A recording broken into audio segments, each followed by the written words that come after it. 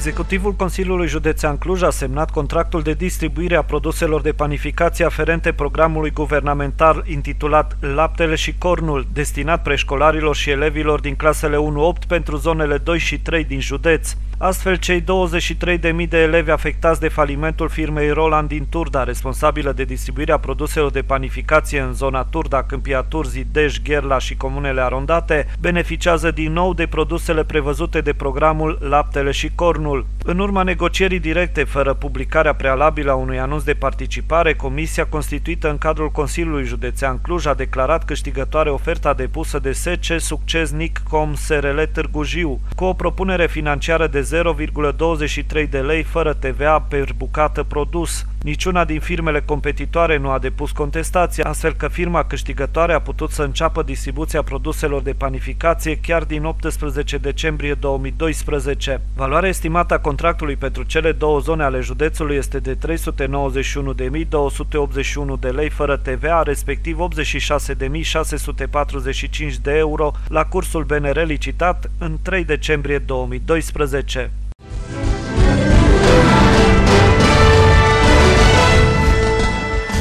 Fundația Doriana, în parteneriat cu tineri Alfa Omega, au organizat marți 18 decembrie la Teatrul Municipal Turda un concert de colinde special pentru tineri. I-au încântat pe cei prezenți fanfara Alfa Omega, corul de tineri Alfa Omega, trupa Liro, trupa Pas și nu în ultimul rând Denisa Gerasim. Așa cum declară organizatorii, majoritatea celor care au luat parte la acest concert, dar și cei care au urcat pe scenă, sunt persoane care se întâlnesc regulat pentru a se bucura împreună cu Dumnezeu. La Biserica Penticostală postală Alfa și Omega Turda de pe strada Avramian cu numărul 23. Sala a fost neîncăpătoare pentru cei prezenți la concert. Aceștia au aplaudat și au cântat împreună cu cei prezenți pe scenă. Organizatorii au dorit ca, în prag de sărbătoare, prin aceste colini, să creeze încă de pe acum atmosfera de bucurie și entuziasm a Crăciunului. Fundația Doriana are scopul de a propune, realiza, sprijini și finanța proiecte și programe pentru tineri și alte categorii sociale specifice și de a oferi servicii în folosul acestora sau în interesul general al comunității, promovând implicarea comunitară și socială, spiritul de caritate și întrajutorare între oameni, educarea continuă, un mod de viață sănătos și dezvoltarea caracterului personal.